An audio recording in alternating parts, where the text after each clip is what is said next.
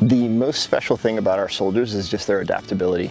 They are truly versatile. No matter what the challenge is, they will come up with a solution. Whether we have the equipment right there or not, whether we have the training or not, they're going to figure it out. And I think that's unique to, to engineers in general, uh, and then especially so with the dive field.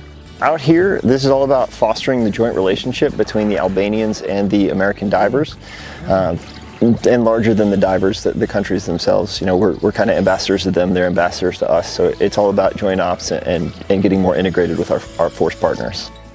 It's important to be able to integrate together because it's, it's really a small world. Even though our militaries are quite large, the dive communities are very small.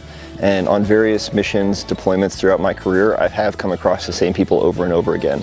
So forging those relationships early is really the, the key to it and learning to communicate. Um, although there's a language barrier, and once we get underwater, most of us speak the same language through hand signals.